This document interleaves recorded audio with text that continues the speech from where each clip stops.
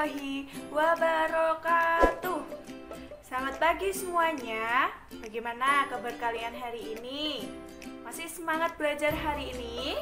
Sebelum belajar, marilah kita berdoa. Menurut agama dan kepercayaan masing-masing, berdoa dimulai.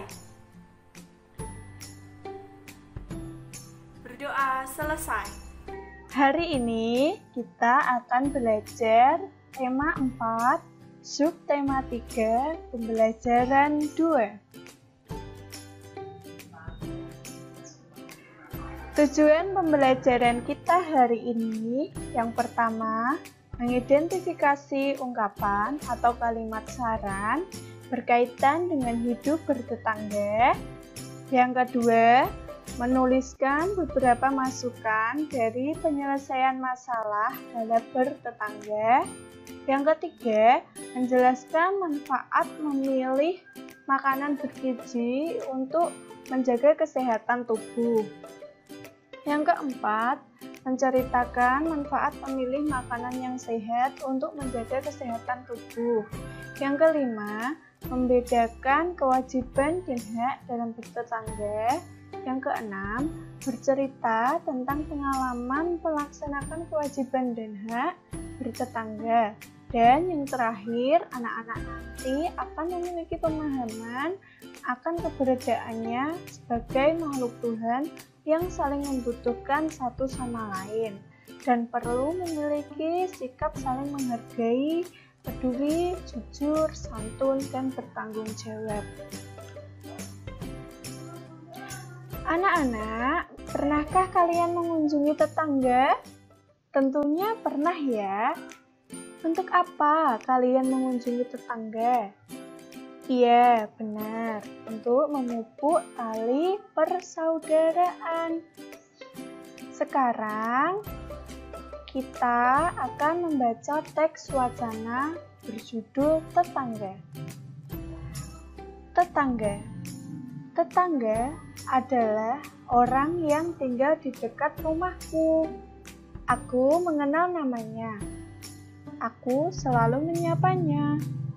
Aku suka bermain dengannya dan mengunjunginya.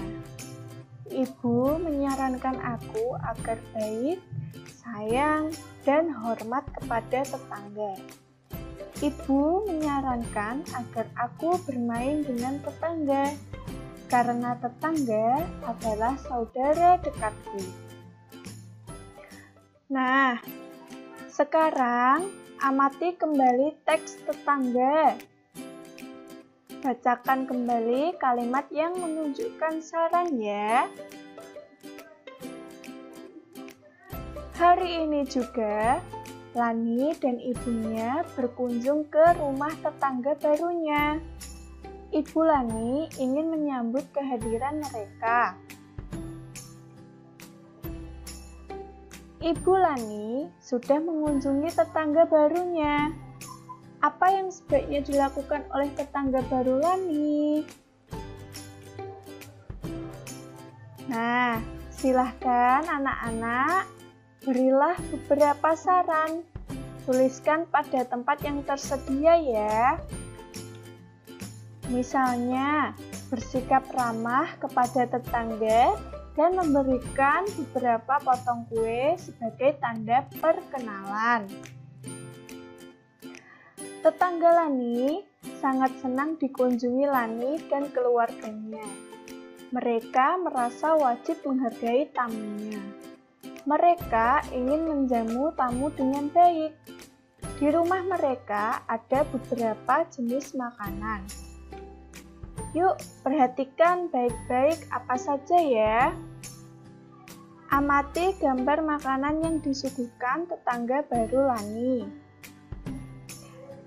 Ada roti tawar, lalu ada gorengan, ada juga buah manggis, dan yang terakhir ada kerupuk.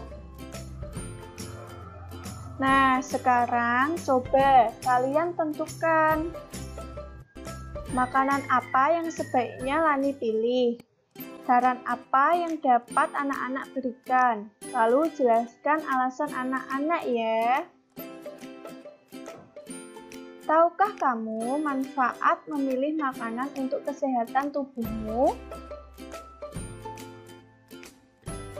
Anak-anak memerlukan makanan bergizi. Makanan bergizi membuat anak menjadi memiliki tubuh yang sehat. Makanan bergizi mengandung karbohidrat, protein, dan vitamin.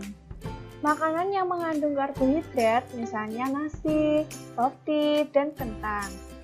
Makanan yang mengandung protein misalnya ikan, daging, telur, kacang-kacangan, dan susu. Buah-buahan dan sayur-sayuran banyak mengandung vitamin. Sekarang amati gambar di atas ya. Makanan manakah yang sehat untukmu? Diskusikan dengan orang tuamu mengapa kamu harus memilih makanan yang baik.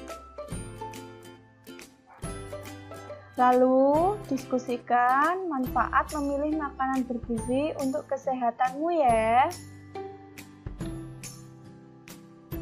Dan jangan lupa beri tubuhmu dengan makanan yang bergizi anak-anak.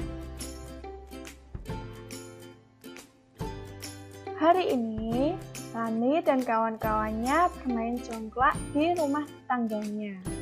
Mereka bermain di depan rumah. Tahukah kamu kewajiban yang harus kamu lakukan berkaitan dengan bermain? Apa sajakah itu? Simaklah kalimat-kalimat berikut. Tulislah huruf W jika itu kewajiban dan huruf H jika itu hak. Yang pertama, pernyataan satu, mendapat bantuan, termasuk hak. Lalu, yang kedua, mengikuti aturan main, termasuk iya benar, termasuk W. Nah, untuk nomor selanjutnya, silahkan kalian tentukan apakah termasuk W atau H ya anak-anak. Tulislah di bukumu masing-masing.